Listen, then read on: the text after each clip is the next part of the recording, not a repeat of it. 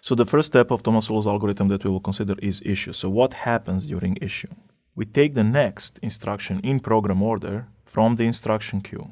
This has to be done in program order for register renaming to work correctly. We then need to determine where the inputs of the instructions are going to come from. Are they already in the register file or are they going to be produced by some of the instructions that still hasn't broadcast its result? And uh, if we need to wait for an instruction, which one? So there will be some sort of RAT table there.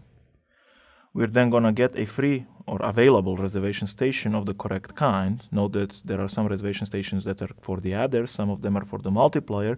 So if this is an add instruction, then we really need to find a, an available reservation station in front of the adder. If all of the reservation stations are busy at this point, meaning they're already used by some other instructions and they, those instructions haven't left yet, then we simply don't issue anything this cycle. And in Tomasulo's algorithm, they were issuing one instruction at a time. So, so they, they would just issue one instruction per cycle. We would put the instruction in the reservation station then, and we will tag the destination register of the instructions so that the result when it's produced goes there, and also so that instructions that want that register in the future will know which instruction is going to produce this file if it has already not been produced.